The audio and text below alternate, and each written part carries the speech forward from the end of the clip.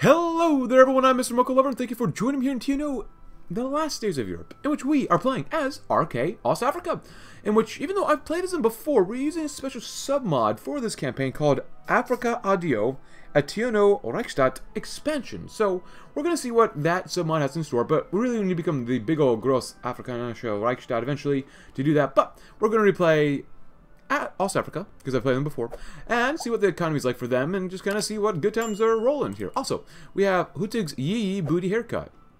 Getting that drip. What does this one do? Oh. Oh. He's gonna... He's gonna wide. You can't... Wow. Funny moment. Okay, anyways. We can do hard mode, but this is my first time in actually Toolbox Theory the time recording and going to do the South African War. Uh, difficulty, I don't know about that.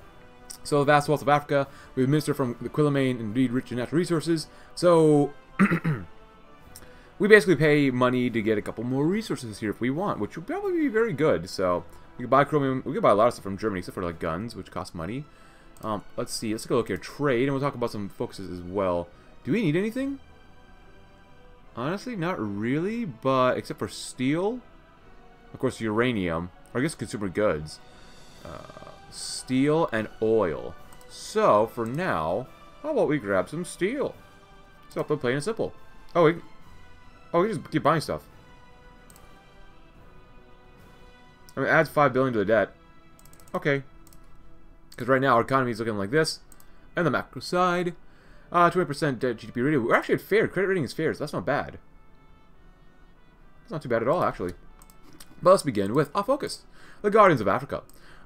Africa's a nest of vipers. It's a land infested by bandits, overrun by rebels, endangered by terrorists, and even worse, full of traitors. It is clear by the day that among the four Reichskommissariats that we are the only ones actually defending the interests of Germania and the Dark Continent, and ensuring that the light of national daddyism still shines even in the pitch-black jungles covering this heckhole. We are the guardians of Africa, and we'll ensure that our legacy lasts for a thousand years. No one else can be trusted. Not a single person. Let's see, clean the colony? Ah, we like cleaning colony instability. Our colony is rife with dissent.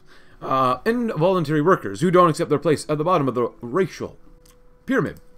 Tolerated natives who still fight for freedom and even the Aryans, our own blood.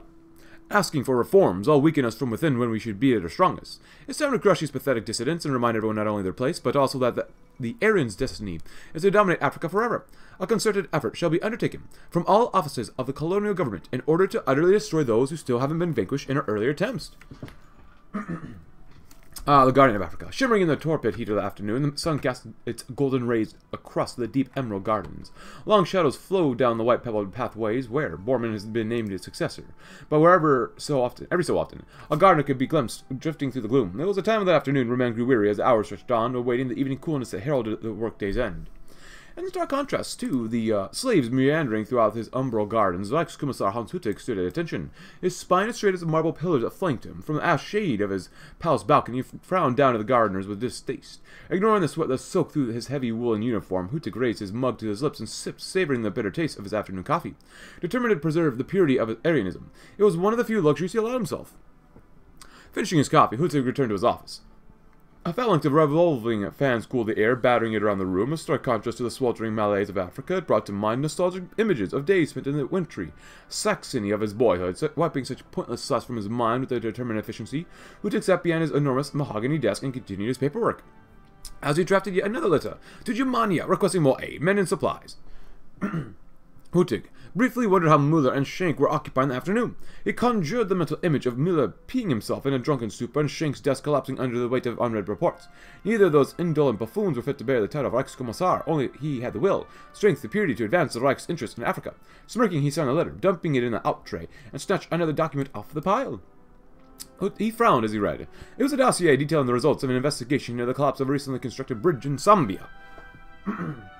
which was blamed on poor planning by the German engineers in charge of the project. In a sudden fit of pique, he crumbled it into a ball and threw it in the waste wastebucket. Scowling, Huttig leaned back at the creaking of his chair, setting him on edge.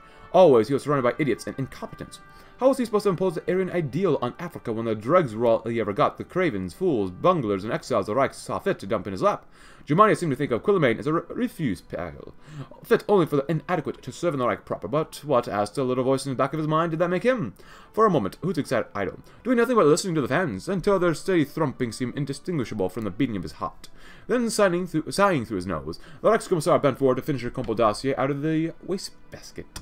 He hated all this and suddenly couldn't get away. Also, I don't think I set up any planes here. Then again, we don't have any planes here. Well, that would explain it. Uh, buy steel. Uh, we still need more steel and oil, so getting a healthy amount of oil would be very good. 20.8%, not great. Also, we're spending max here. Ooh, naval expenditures. Uh, let's go to the bottom. There you go. Hurts our growth a little bit, but at the same time, we don't want too much of a deficit right now. Uh, let's see. So we're looking pretty good here. So we need anything else. Maybe another spot of aluminum, maybe eventually. We definitely need more consumer goods, though. So we don't have to spend things here. So we're not going to. How many guns do we have? Not enough. 0.01 billion? Hey, go get some guns just in case. You know, we're honestly probably going to need quite a few guns. Wow. He is just a local terrorizer. Look at that. I kind of like the way they did him.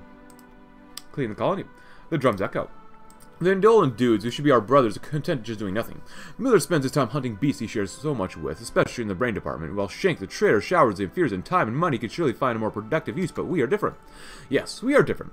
We have keen eyes and ears, and we know we are the dust rising to the south, where a nation lies broken, ready to collapse, and we hear the drums of war, those same drums who led a glorious daddy to begin his crusade against imperialism. We shall follow his shining example, let the drums roar, make them louder and louder. Meeting the General Bureau. Huttig always found it amusing to call a meeting of the General Bureau to take place in a few hours, forcing his subordinates to scurry from their villas to his palace desperate not to be the last to arrive at last. Trying their best to look unflappable, his underlings had arrived by helicopter and chauffeured sedan and were seated in the palace's enormous conference room.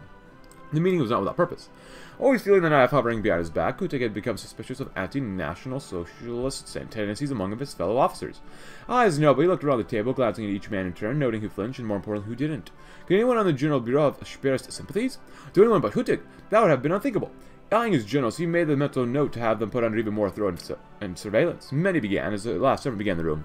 We live in precarious times, I'll be brief. From the outside, we are threatened by the degenerates and the Judeo-capitalists. From within, on the borders of the Reichskommissariat, we are troubled by rebels, escaped slaves, and so-called revolutionaries. Though we may expect the racial purity of our men uh, will lead us to victory, triumph is not assured. To prevail against these threats that face us, we must root out the cancer at the heart of Africa, Africa. He paused looking around at his men, hoping for a reaction. They, looking nervous, always afraid of being replaced as a, as a favorite. Dupont, grey face as usual.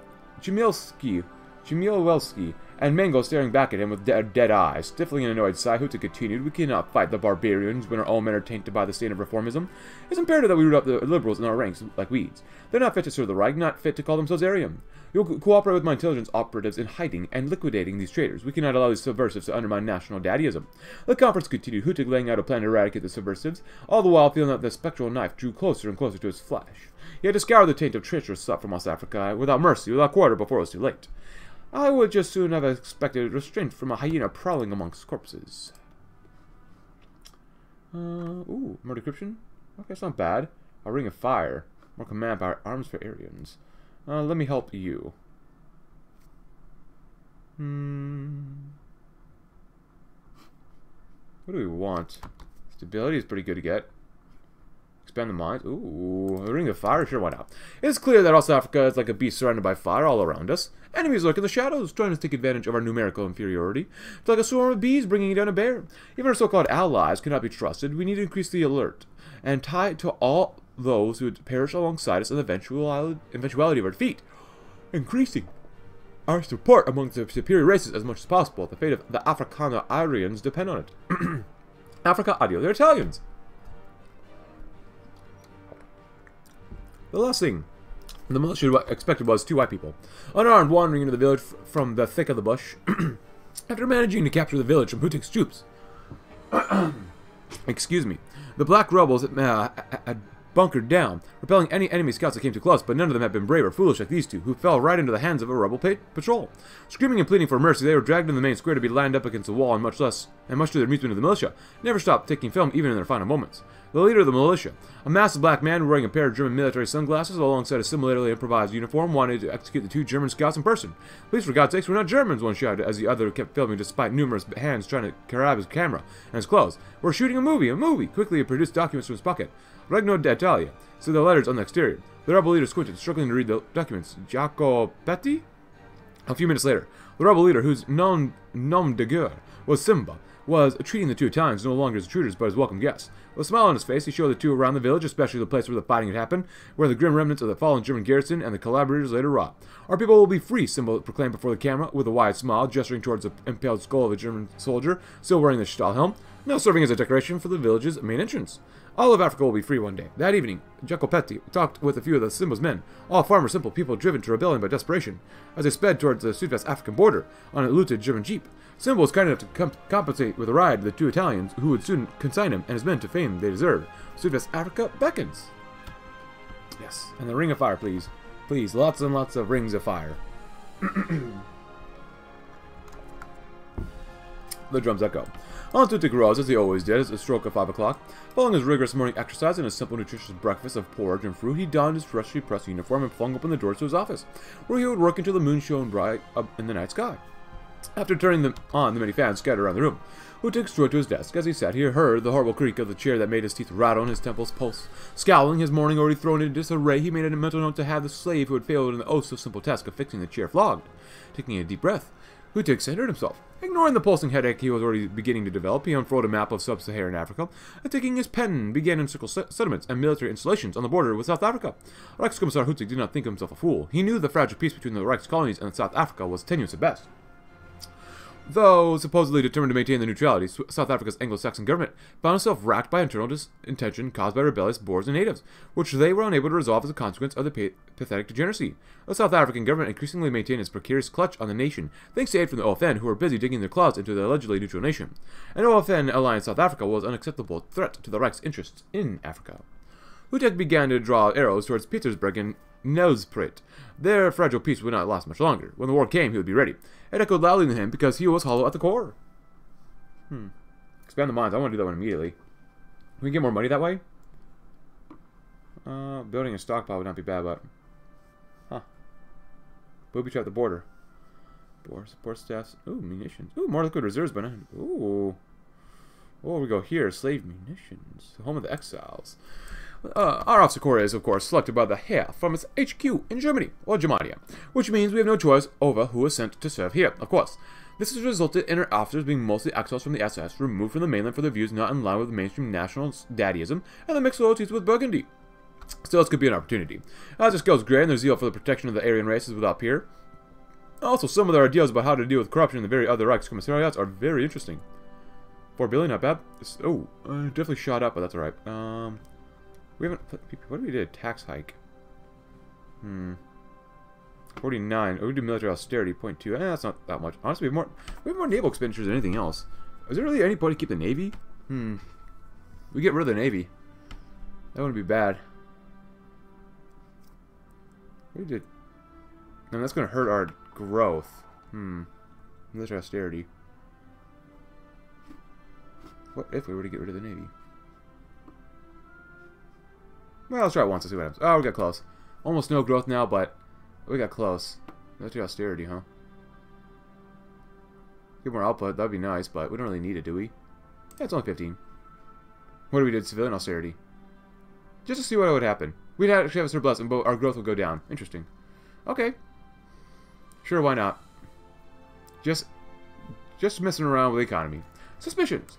Awareness returned to Huttig rapidly. He cursed under his breath, drew his hands away from the slumping head, and assumed his straight, straightened posture. Last night's drink would not be allowed to affect present behavior. After all, a week's state of mind was nothing more than middling degeneracy. The drink was not entirely without merit, however, as the epiphany had provided him a prompt to today's meeting. Come in, Gunther. Huttig noticed his hands fidgeting nervously as he took a seat. A good sign meant his image preceded him. Reichskommissar, you wanted to speak with me? Huttig thought for a moment, choosing his words carefully. Gunther, I'm sure you've noticed the discrepancies between our policy and that of our neighbors. He paused, letting the taboo word sit in the still air. Recognizing that his subordinate's wariness to speak frankly, he continued. In a foreign land such as this, loyalty to the fatherland is of the utmost importance. We remain surrounded by subhuman savages and vessels of corruption. It's precisely for this reason I can, that I call upon you, a most steadfast SS officer, for this assignment. Upon the realization that this was not a disciplinary hearing, Gunter's tense disposition relaxed. The ex-commissar may have been a paranoid man, but Gunter was clearly not the one under suspicion today. Huttig slid a satchel across the desk, peering into Gunter's eyes. You are entered to, to enter Central Africa under the guise of reassignment. Close are the, all the relevant documents. Observe operations there and take care to remember the highest ideals of the fatherland. After a period of a week, expect a corrective order and another reassignment west. When you have finished this task, you are to report directly to me and me alone. Do you possess a sufficient understanding to fulfill your duty? Gunter nodded and hired, and was gone as quickly as he arrived. Alone with his hangover yet again, Huttig clenched his fists. He would uncover their corruption and finally correct the heinous mistakes of his superiors. Perhaps then he would no longer be forced to maintain order alone in Africa. He poured himself a drink. Let's hope this operation yields, yields fruit the Ring of Fire. As the clocks chimed midnight, Huttig started to awake, almost falling out of his chair. His eyes painfully adjusted to the harsh white light, still set for this evening paperwork. Feeling his stomach shift turbulently as he stood, he barely stumbled towards the dimmer, duller lights. Slumping back in his chair, Huttig told himself that overwork had led him to falling asleep at his desk. Obviously, it had been nothing to do with the cognac he'd been drinking since breakfast. Temples thumping. He looked over to the desk, trying to remember what he'd been doing before he dozed off. It all came back to him in a sudden flash of incandescent fury. After dinner, he received a telegram from Germania insisting that he cease sending critiques of his fellow Reichskommissars. The pseudo-degenerates and their plush might offices had threatened him, suggesting his constant criticism of those incompetent buffoons was tantamount to treason. Hands shaking with rage, Huttig poured a glass up to the brim with cognac, uh, just to calm his nerves. How dare they suggest that? Drowning his cognac, relishing his bitterness, Huttig felt the fire of hatred grow in his belly. Not only could he not not trust Germania, he was also surrounded by enemies, each waiting to sink their knife into his back. The treasonous dudes in the Ubrecht's commissariats, the traitors Boers, waiting for their opportunity to slip free from the Reich, the slippery Italians up north. It was like being surrounded by the ring of fire, the flames advancing, always advancing, until the day they sear the flesh from his bones. He could not allow the degenerates and traitors to prevail. Huttig leaned back slightly and immediately felt that horrific bone-rattling creak, and his chair stab into his brain like a million wicked needles. The blood rising to his face, something inside him finally snapped. Slowly watched himself rise, grab the chair, and drag it outside of the balcony into the bracing night air, hauling it onto the marble parapet. Huttig used what remained of his strength to show the entire enormous leather chair off the edge. Steering into the lush blackness of his gardens, Huttig heard the chair shatter on the gravel below. Swaying from side to side, he lurched back inside and passed out on the office floor.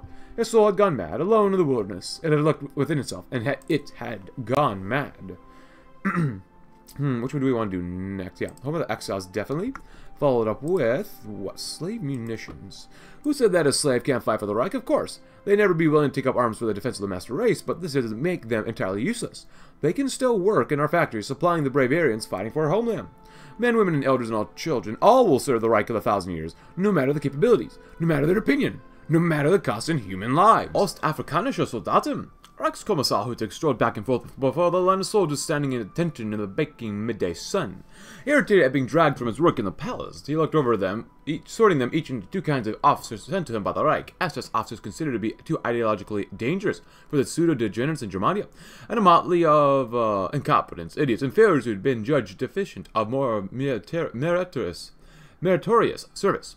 As usual, most would be useless, bodies in uniform sent to reinforce outposts or plantations, or a handful of men who would show promise, but they were the exception.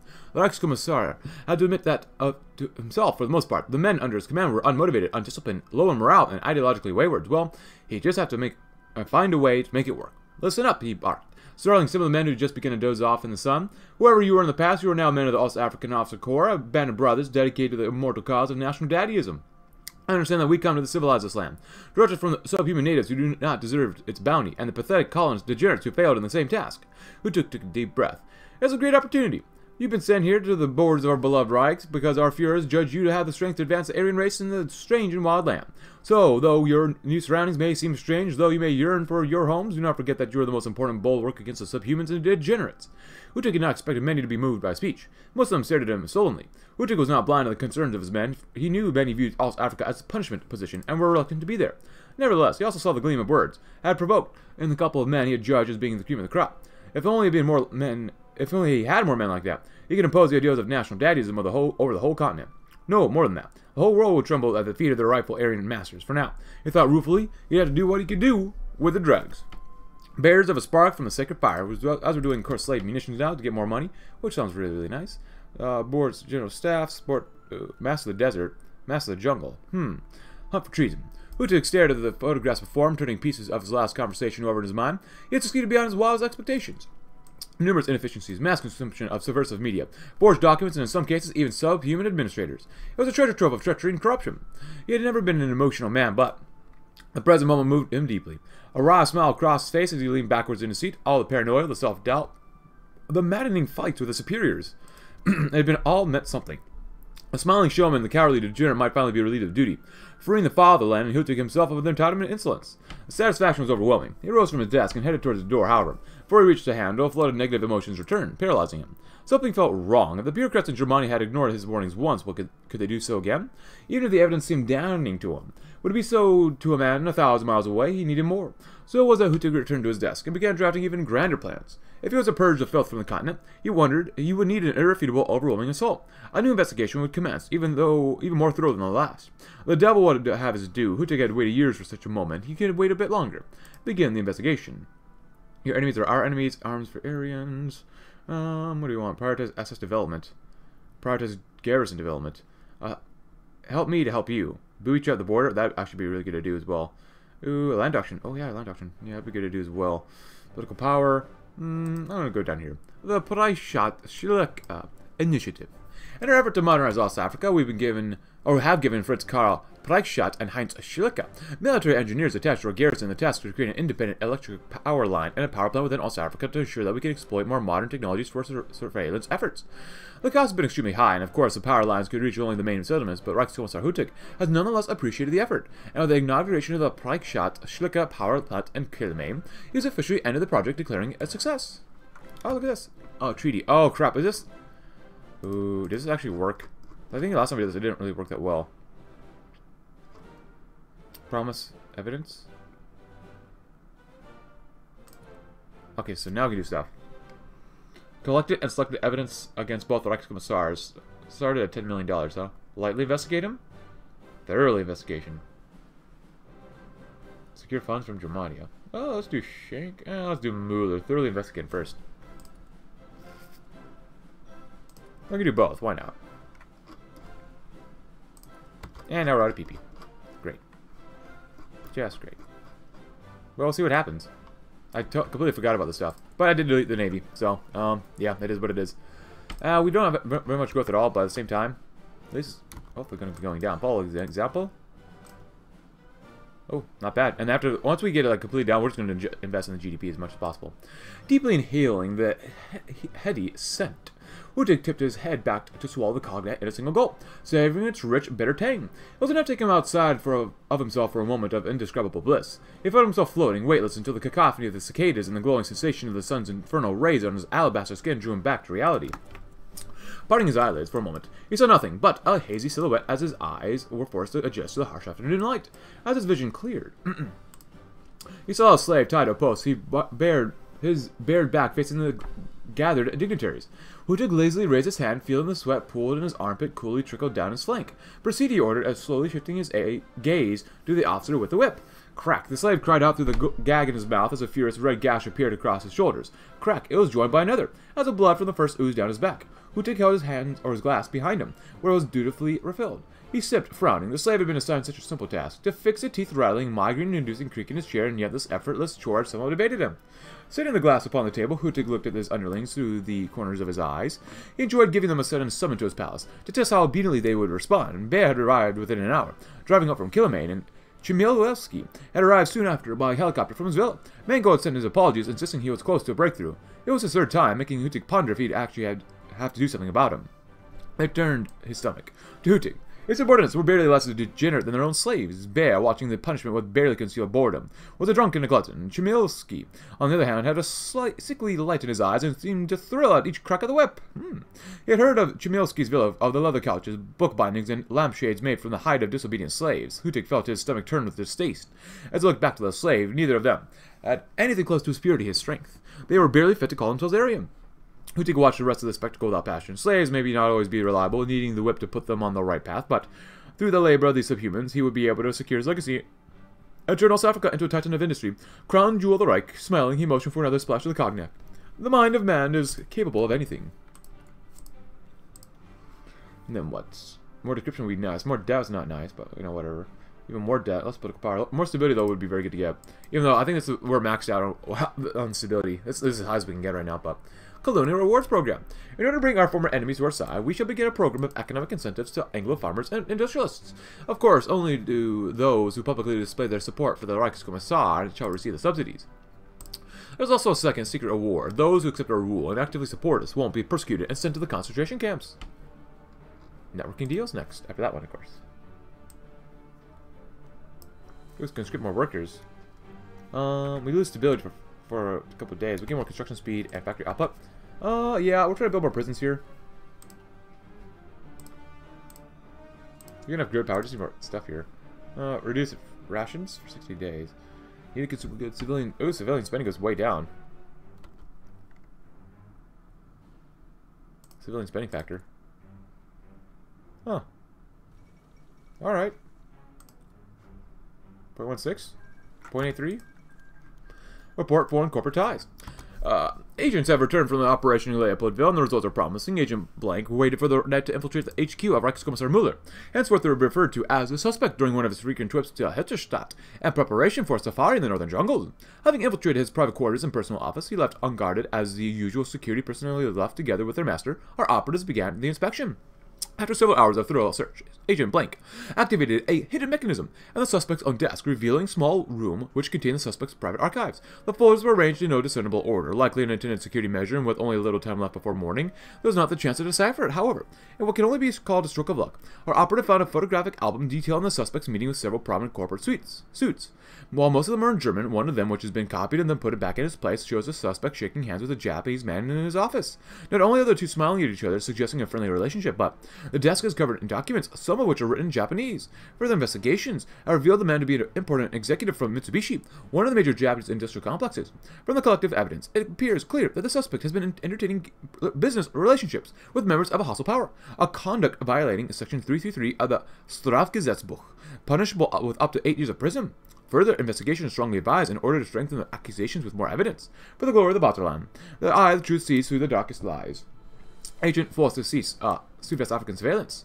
Agents Blank have returned from the operation in Sudwest Africa with less than satisfactory results. Agent Classified was out of conducting field surveillance in the hopes that evidence of collaboration or leniency between the rebel groups in Sudwest Africa and the authorities could be uncovered. Unfortunately, the territory they were in was far more patrolled than initially thought. Agent Blank attempted to set up an observation position on more than one occasion, but nearby patrols forced them to change location. Eventually, the operative concluded that surveillance operation was impossible to accomplish and they vacated the area, with little to no actionable intelligence uncovered.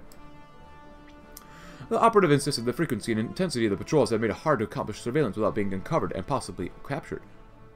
Given the delicate circumstances of the situation, it's understandable that the exposure and possible capture of one of our agents would cause enormous problems. And the working theory that the rebel groups and local authority have been collaborating is true. A massive breach like that would risk exposure of the entire investigation and all of our assets. We cannot discount the possibility that the rebels had advanced knowledge that they would be spied upon. An investigation of our intelligence network for any possible leaks is underway. Meanwhile, Agent Blank will be temporarily kept away from the public while they and their friends and relatives are investigated as well. For the glory of the Vaterland. Yes. You know what? We lose a little bit of stability. That's okay for us right now. Uh, so we can get anything, huh? Well, I mean, I guess I think we... Nothing? Hmm. We need 50 PP. That's so much PP. I want to thoroughly investigate, but that doesn't... Hmm, I don't know. We'll see what happens. Just want to pay all the debt, man. But the initiative is almost done. Launching the initiative. Which one are we doing next? I can't remember. Did I redo anything next? Colonial Rewards Program. That sounds like fun. Yeah, this one. Launching the Preikschat Schlicker initiative. Barely keeping a hold of his, his excitement, Reichskommissar Huttig mounted the podium to join the guests of honor. Fritz Karl Preikschat and Heinz Schlicker, two of the Reich's Stars engineers. It wasn't often he got the opportunity to work with men of their caliber, and he didn't intend to let the opportunity to use their genius go to waste. Arranging their assignment to him had taken years of lobbying, cajoling, and bribery, and today would finally come to fruition.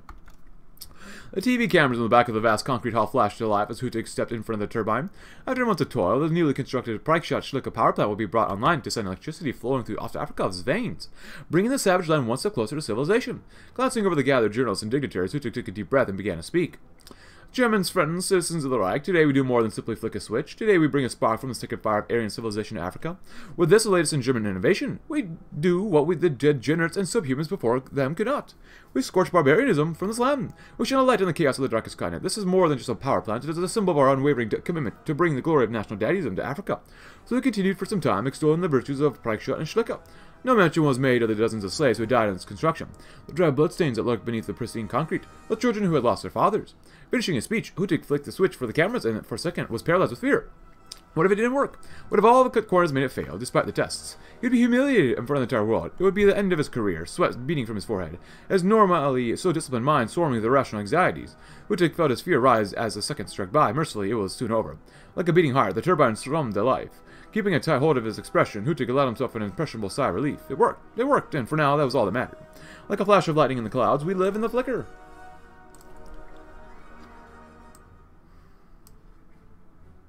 We need more money.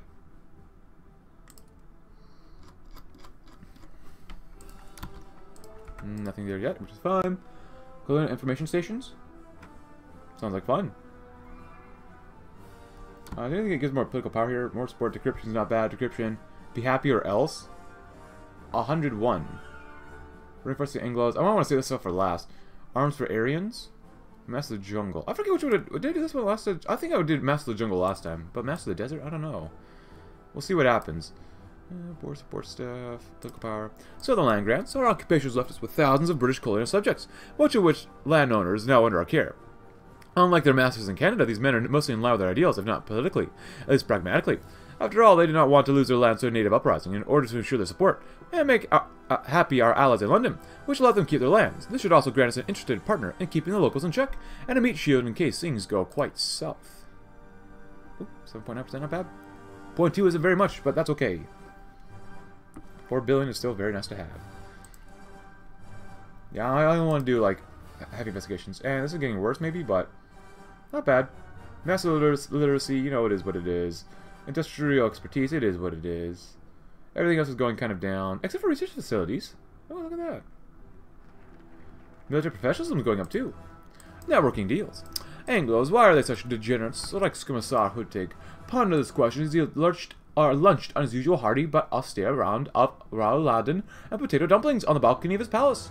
For once it was pleasantly cool. The sun seeming to have forgone, forgone its, uh, forgone, its usual bite for the day. The glass of cognac that had quickly become part of his every meal sat forgotten in his hand as he stared into the cloud of smog hovering over the distant Quelimane.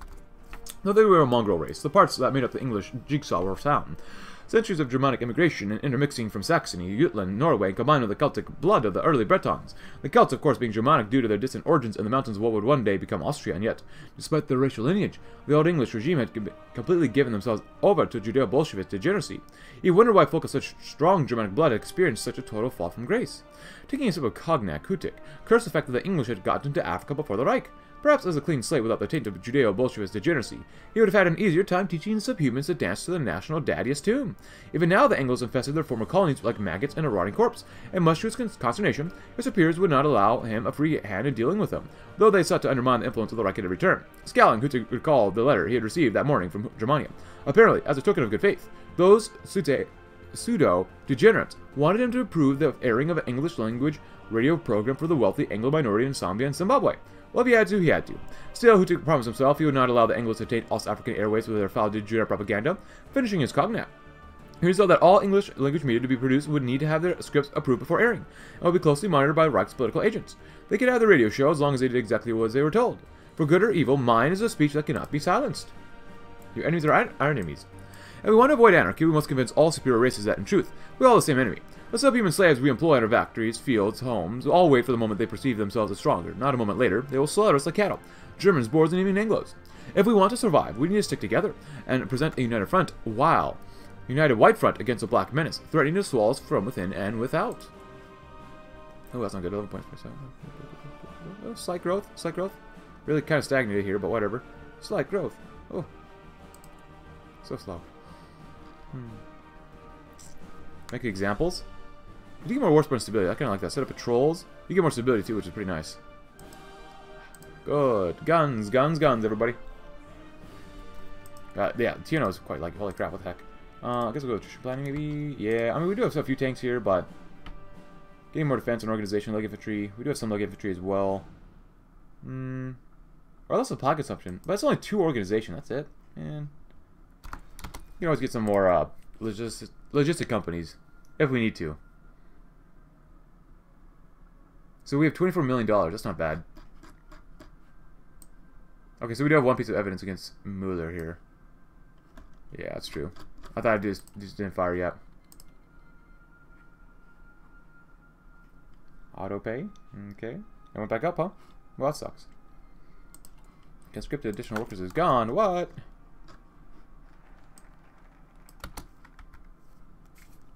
More construction speed? I don't want split political powers to do both of those. Yes. Let's see. In an effort to the control our new Anglo subjects, we shall launch the East African uh, Broadcasting Company, the English spoken radio channel to make them feel at home. Almost, of course.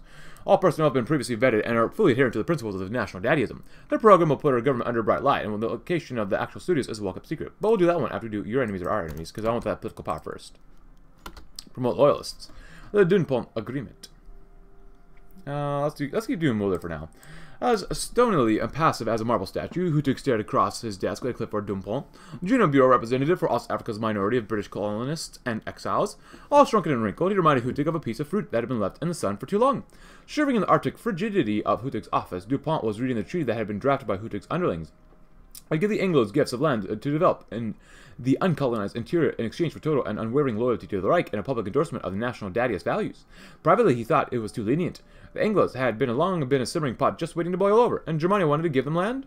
On the other hand, he supposed, whilst Africa had vast tracts of land that, when cleared, would make fantastic farmland. Perhaps they proved beneficial to the Reich's prosperity, as long as he kept them within, within an iron grip. Huttig had to stop himself from smiling as Dupont finished reading and, and, deflated like a punctured balloon. If he had his way, the degenerate Anglos would be deep in the coal mines instead of putting on a show for still being important dignitaries, but forcing them to dance along to his tune, uh, like marionettes, was the next best thing. Signing the treaty would commit East Africa's Anglos to Huttig and the national daddyist cause, in ink at least, giving him the legitimacy to persecute them should they ever stray from the path. He knew Dupont and his cronies secretly wished to undermine his rule, cast him down, and take his realm for their own. Feeling his suspicions coil around him like a boa constrictor, Huttig wanted nothing more than to send his rotting would-be old would-be backstabber to the camps with the rest of the traitors, but until he got the go-ahead from Germania, all he could do was hope for to keep them under the jackboot. Dupont, of course, had no choice but to sign. It was written, I should be loyal to the nightmare of my choice. Uh, yeah, I do want to expand the mines. Support staff would be nice, though. Uh, let's do that one to get the bonus for the land auction. The Boers have been proven to be ardent supporters of our cause. No matter how brave, they are extremely insufficient soldiers, inefficient soldiers, lacking training, equipment, and skilled officers. In order to ensure the success of the righteous uprising against the decadent capitalist overlords, we shall send support staff to the Boers. Crates of uns of supplies, military instructors, and small units of trained soldiers will help them to hold the line until they fill the gap with our baseline soldiers. The Lobster War ends. Oh, goodbye, Lobster War. Yeah, I mean, that's nice, but we don't have enough political power for us to really do that, so. 11.451. Ah! Debt interest. And eh, it's still going up, but just barely.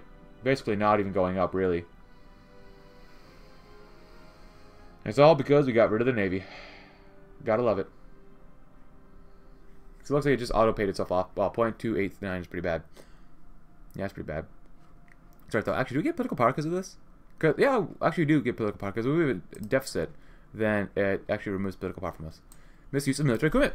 Agents classified have returned from their operation in Leopoldville, and the results are promising. After following Reichskommissar Muller, henceforth to be referred as a, as a suspect to Leopold airport, our team managed to obtain a high-resolution photo of him boarding a helicopter belonging to the Central Afrikanische Luftwaffe, together with a Lakota, a Lakota, uh, Ladoke Akintola, an inferior to be known to be the most prominent among his kind in the region of Yorubaland. After a few minutes, the helicopter took off for an unknown location. While the fact that the suspect is consorted with an inferior, not known to cover any role in the colonial administration, or the native SS is already cause for concern, what truly holds criminal relevance is that he boarded a military transport, together with someone who is, by any accounts, a private citizen, or better put, a slave, and such should never be allowed there. Such conduct is in clear violation of the Section 266 of the Strafgesetzbuch, and punishable up to 10 years in prison. Further inquiries are advised in order to discover whether the suspect is misusing his powers in more serious uh, situations. To consort with the inferior is to consort with the enemy. Purging our own troops. Spilling into the room. the golden light of the morning jolt jolted uh, Huttig awake. Forcing his eyes open, and breaking the crust it had formed, he gazed up at the whitewashed ceiling. After a moment, he wiped away the sticky tear residue that clung to his cheek and looked around him. Somehow he'd ended up in bed. Had someone carried him there after he passed out in his office? He felt his cheeks burn with shame, both from the indignity of being treated like a child and the added humiliation that everyone in the palace had probably already heard about it. Head thumping like a jackhammer, Huttig lay in bed for over an hour, staring up at the ceiling. He would have to reestablish his authority. He heard a tentative knock at the door, although he didn't respond. He heard it creak open and turned to see who dared disturb him. Bear, following and shuffling towards him. Huttig wanted to yell at him to get out, but he couldn't summon his energy. All he could do was croak, Tell me what you want. Ah, Reichskommissar, allow me to extend you, to you my deepest sympathies that you have take, been taken ill, began Bear, sycophantic as ever, before he was stopped by Huttig's stare of piercing contempt. Even mired in the pits of the worst hangover of his life, he knew he still held power over the distinguished, dis disgustingly corpulent uh. Uh, well, the General Bureau are concerned about the commitment of our Boer allies. I knew to bring you immediately. Uh, yes, Huttig, so that you might squeeze a few kudos out of me. Pathetic. Must you bother me with every little thing? demanded Huttig, scratchily, turning to Glare Bear. It is simple. Emphasize to them, in a propaganda campaign, that we fight the same fight, that the same we have the same enemies. The natives, they seek to destroy everything we built, to annihilate the Aryan future. You will bring the Boers closer to us. Use whatever resources you need. Now get out of my room. Bear obsequiously bowed out of the room, thanking Huttig for his wisdom. Huttig frowned after him, wondering if it was time to put Bear out to pasture, or into a grave. As the leader, the men who seemed most loyal to you were the ones, of course, to watch. A groaning, Huttig fell back to continue staring at the ceiling, wondering if he'd find a new chair waiting for him in his office. After a while, feeling a little better, he telephoned for breakfast. The most you can hope for is some knowledge of yourself that comes too late. Kick the hornet's nest. Prepare the werewolves? That'd pretty good. Colonial information stations? Yeah. That'd be good to do. You get even more stability too, which is pretty nice. Uh, we don't need more money yet because we have 28 million, but I do want to investigate Schenk, but Eh, do anyways, because we can. Any more resources from Germany that we need? Because it keeps sending us guns and stuff, so it's pretty nice.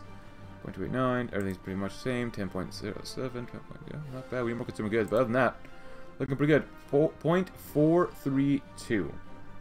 Hopefully it keeps going down. Now we can do tax temp to pay off the debt faster, but that would really kill off our growth taking a sick day. Hans Huttig's head pounded with every breath, hammered agony onto his eyes and stomach. Running his slice of the Reich was challenging enough, and with idiotic staff at best and malicious at worst, heralding so loyal sons of the Reich to their deaths against the bloodthirsty savages. Now pained him so much as, his, as to crane his neck. How could he do any more for this world and still suffer? Huttig massaged his temples as he sat up, and bile rocketed from his stomach, keeling the man over. Still, he mustered iron will into his throat as desperate hands fumbled for the bedside telephone. Get the F in here now, he spluttered. Pierre stormed into the room. Herr Huttig came as soon as I... He then stopped dead, registering the view, blinking once, twice, thrice with wide eyes. Before him, the most feared man in Africa lay next to a pot of yesterday's dinner. Huttig's eyes flickered to life. Bear, he groaned, stop gawking and help me for once, you imbecile. Bear had seen things that would drive saints into insanity, but this... He stammered for an answer. Of, of course, mein Reichskommissar. I, uh, I'm at your leisure, Herr. Soup, Huttig sniffled, mucus dripping from his stodgy nose.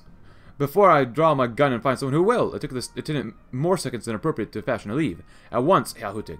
Moments later, Bear returned with a tray full of soup and a handful of servants ladling generous helpings onto a bowl. As she fiddled with a pack of Blue 88, the advisor blurted out the dismissal to his companions.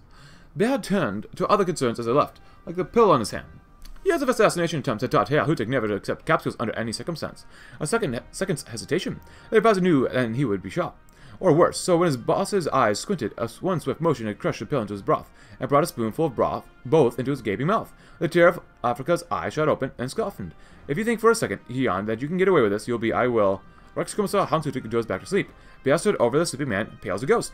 Come again on the last spot, Huttig? Come again. Come again. More support staff. Yes, please. Yes, yes, yes. Uh, Aryan Holidays. Agents Blank have returned from their operation in Central Africa, and the results are promising. Agent Classified traveled to Hitlerstadt in pursuit of people connected to Reichskommissar Müller, henceforth to be referred to as the suspect in his corporate ties. The trail has grown cold to the Hitlerstadt resort, but the progress has been made nonetheless, as the team has managed to obtain the register with all the names of the guests who have visited the resort in the last year by bribing one of the employees.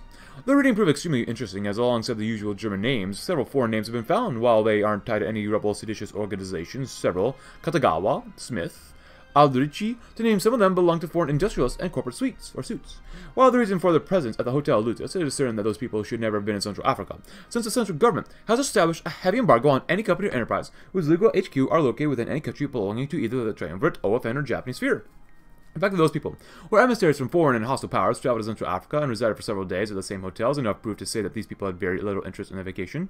Hitlerstadt is, in fact, bordering a rather dull quagmire, and very far from the normal safari routes, and way more in establishing trade relationships with the suspect. A conduct violation, section 333 of the Gazette book, punishable up to eight years of prison. Further investigation is strongly advised, of course, in order to strengthen the accusations with more evidence. The area needs not luxury, only duty.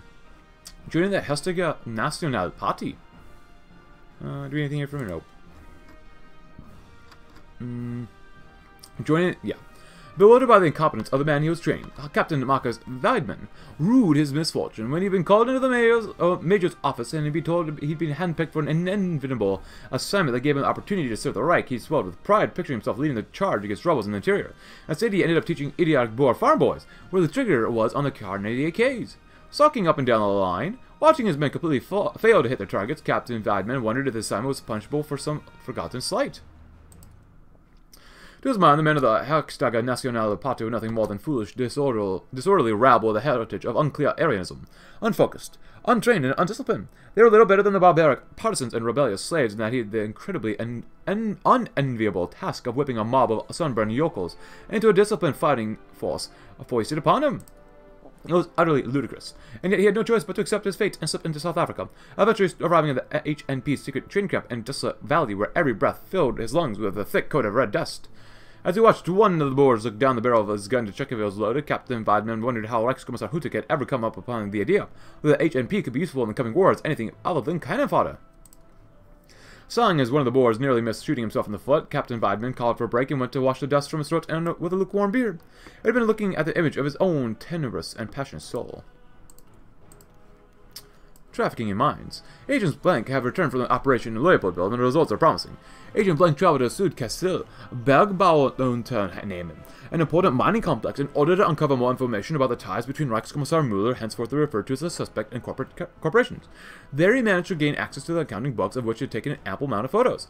The mine had been observed to uh, be operating normally, with an important volume of ore being extracted, but this fact is a match to the numbers, which show a business barely keeping afloat and constantly at risk of failing. What's worse, the personnel there doesn't wear the ordin ordinary uniforms of the security personnel, and their names couldn't be found in the official registers of the Heer or the SS soldiers stationed in the area, making it seem as if the mine is actually operated by a private company.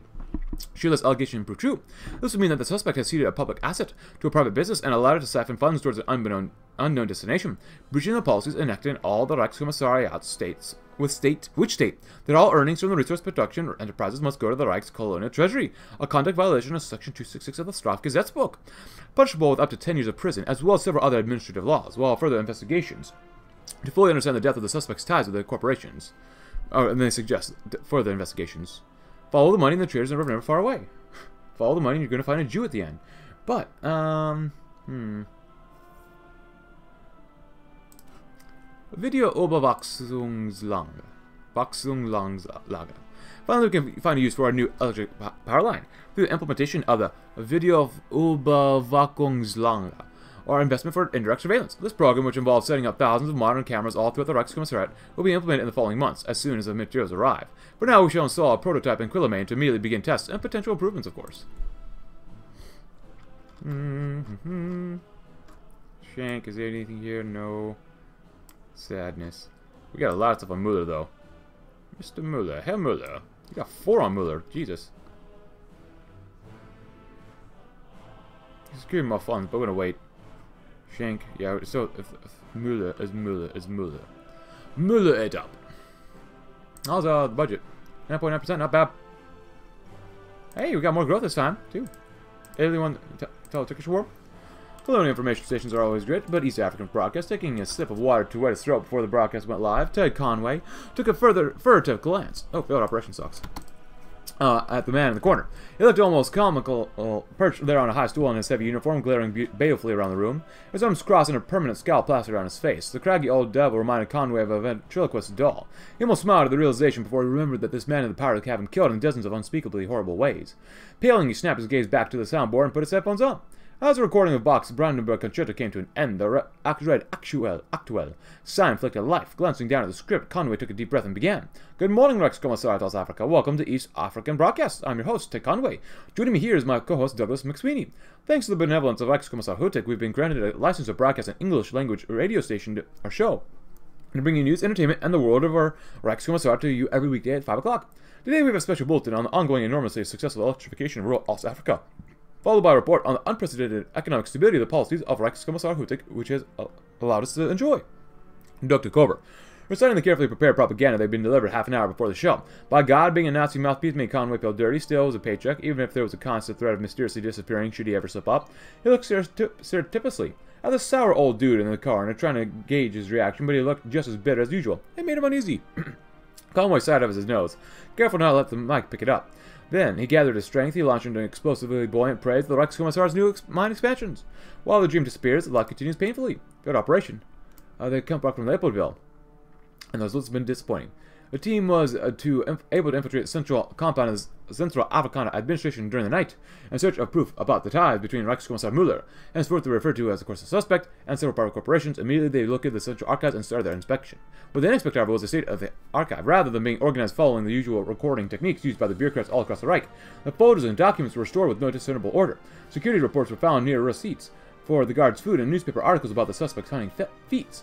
We've no doubt that this chaos cannot be blamed on mere incompetence. Surely this is a deliberate attempt at making the archives themselves impossible to analyze without the time for a full inspection, which would require weeks if not months with a team several orders of magnitude larger than what we can feel. As it is, this indirect uh, defense mechanism has worked. and Our agents were forced to leave the structure at dawn before the personnel returned to the compound, having for all nothing to use for the investigation. The initial failure only makes the final victory sweeter. Well, that's one way to put a positive spin on it. Nice. Not bad. 10.4%. 0.37. 6. Not great. Oh, but not bad. Do we get any special events for this? Because with them falling apart, that's not good for anybody here. Get your free TVs. Be happy or else. as a measure to improve morale and quality of life for all members of the superior races. They shall be, be they Germans, Boers, or Anglos, the government shall subsidize a campaign to get free TV to every household. With it, they'll be able to watch all channels broadcast from Germany, both entertainment and culture. Of course, what they don't know is that each and every app, appliance has been fitted with a hidden microphone connected to the wiretapping branch of our security services. With this, we'll be able to control everyone inside and outside of their private sphere. And there goes Guyana. Goodbye, Guyana. Oh, we have eight uh, factories. Look at that. What are we actually making here? 90 tank artillery, Brooklyn guns. That's not bad. Use more of that, definitely. A United Arab Kingdom. Abdullah uh, bin al-Hussein. Al-Hussein. Muller again. Papa Muller. And there goes the debt. 0.429. Video over Überwachungslager. Pulsing through the cities of South Africa like blood through the veins of some slumbering vast beast, electricity slowly brings forth a spark of light across the dark continent.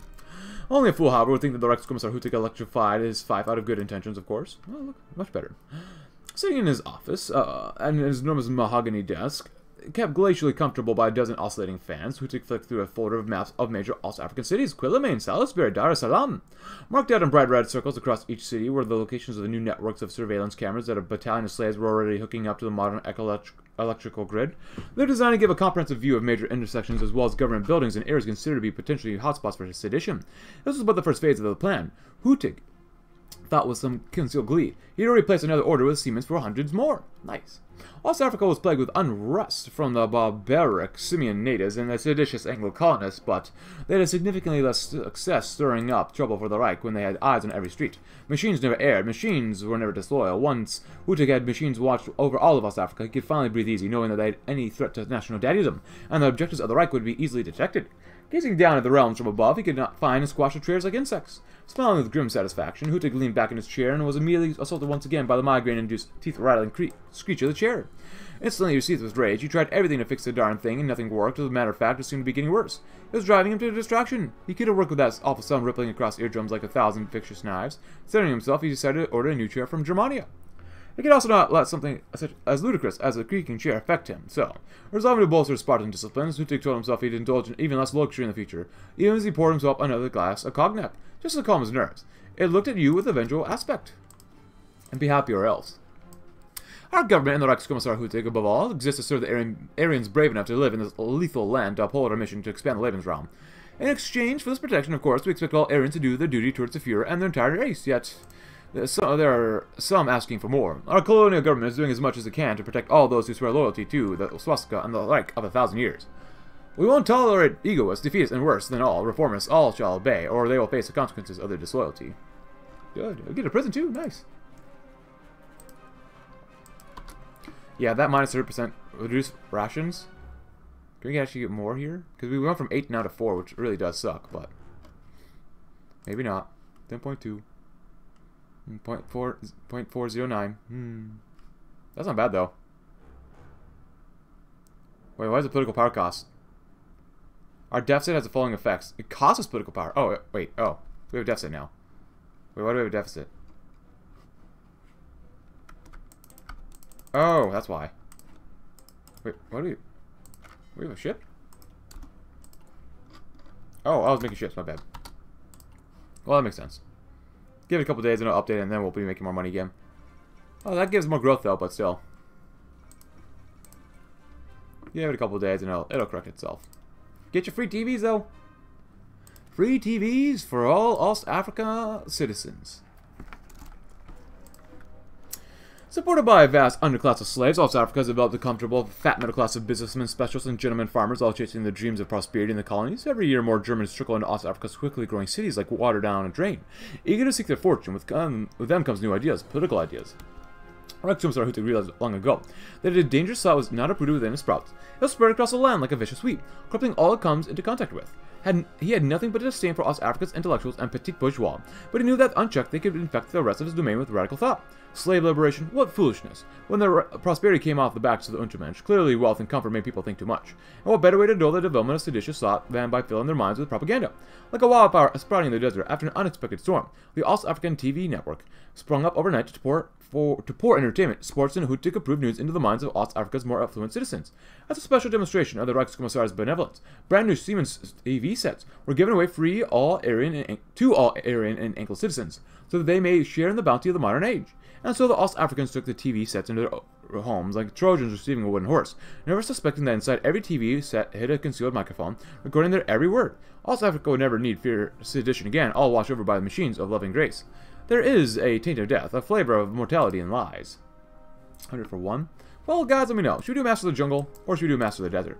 Should we do prioritize garrison development, or prioritize SS development? Let me know, and I don't remember which way I went last time, so let me know which way we should go this time as well. And we'll end this one with expanding the mines.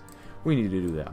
If we want to keep everything under control, we need to ensure both that we have both enough supplies for our weapons industry, and that slaves do not have an, even an ounce of energy left to revolt. In order to achieve these objectives, we shall further expand the mining concentration camps across our domains.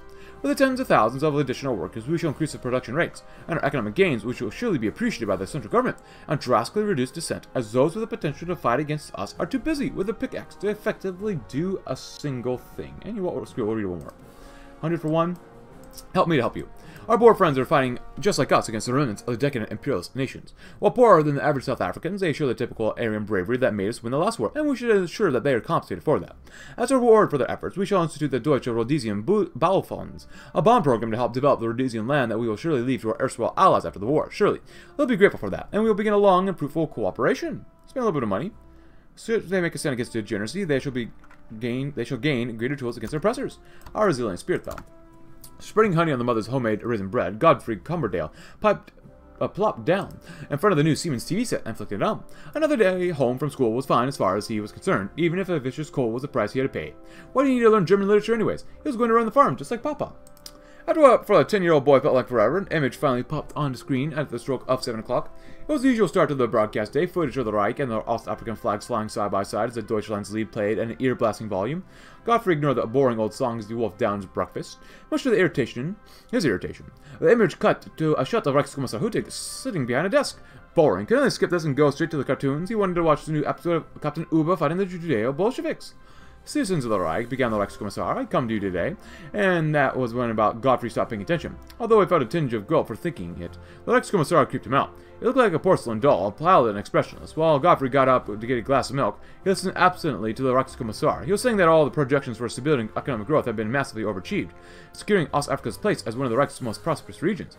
After that, he rattled off a list of figures and facts that made little sense to Godfrey as his image cut to short clips of new gadgets going on sale in the capital and smiling blacks going to work in the mines. Sitting back down in front of this TV, Godfrey cut the final words of the Reichskommissar's speech. Germans, all South Africans, be proud for a great nation has approved, uh, proven the strength of National Socialism against barbarianism. Together we've created the most efficiently run state on earth. Onwards to an alien future. Those words sent a thrill through Godfrey. If the Reichskommissar said everything was going well, then it had to be right. At last, Captain Uber began, and soon he had forgotten all about the Reichskommissar in his speech. I saw that, uh, I saw on that ivory face the expression of somber pride, of ruthless power, and of craven terror, with Mr. Fancy Haircut. But if you enjoyed today's episode, leave a like, subscribe if you're new, check out my Discord link in the description below, and I'll see you tomorrow, as we'll keep staring at the economy tab and making sure that we keep having surplus. Thanks for watching, have a great rest of your day.